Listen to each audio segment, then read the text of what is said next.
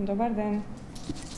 Ми смо стари луѓе, немошни, двојца дома Кажете ми за која услуга имате потреба? и треба леко лепче така нешто за дома и тоа. Ваша адреса?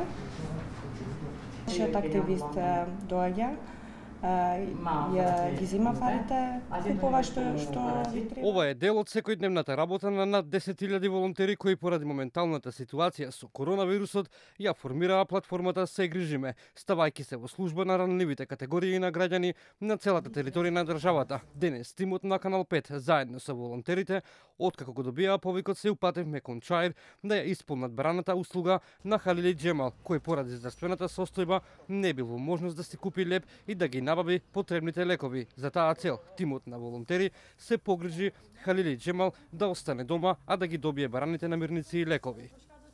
А, целта е значи се помалку да се излегува надвор за да а, не се шири а, вирусот и целта е значи сите заедно за пократок период сето ова да се надмине.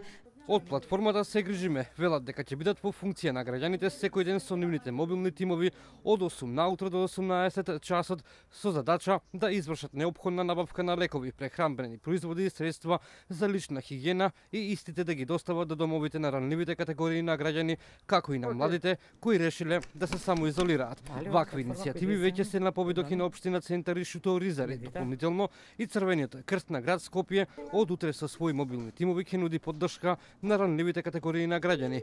Меѓу најзагрозените граѓани во моментот се и бездомните лица. За таа цел Црвениот крст одлучи да им дели заштитни маски и средства за дезинфекција. Волонтерите појаснуваат дека целта на ваквите иницијативи е да се помогне таму каде е најпотребно, се со цел да се седи дома за да се намали можноста од ширење на коронавирусот, штитејќи се себе си и останатите граѓани во државата.